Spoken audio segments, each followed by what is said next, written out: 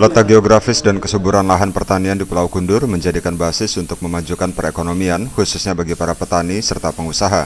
Ekspor buah yang baru pertama kalinya dibuka secara langsung oleh Bupati Karimun Aunur Rafiq, yang turut serta didampingi oleh Wakil Bupati Anwar Hasim. Kebun pisang dan nanas yang ditanam di atas lahan seluas 150 hektar tersebut dapat menyuplai hingga mancanegara, khususnya Singapura dan Malaysia.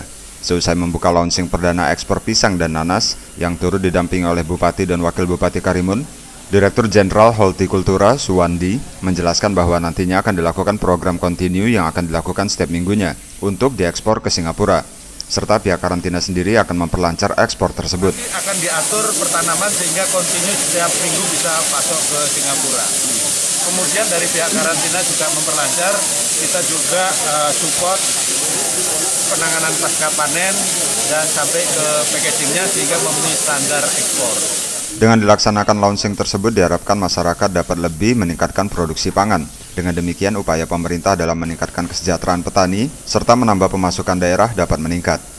Dari Tanjung Balai Karimun, Kepulauan Riau, Aziz Maulana melaporkan.